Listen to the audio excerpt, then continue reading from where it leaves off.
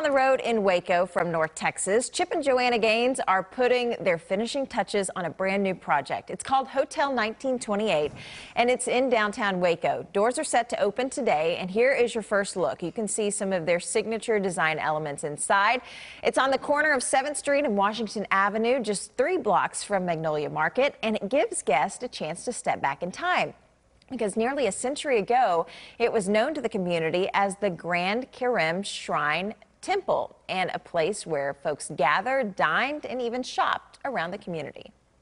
I think the care and attention that's been put into this building to kind of salvage some of the things that were historic to Waco are super important.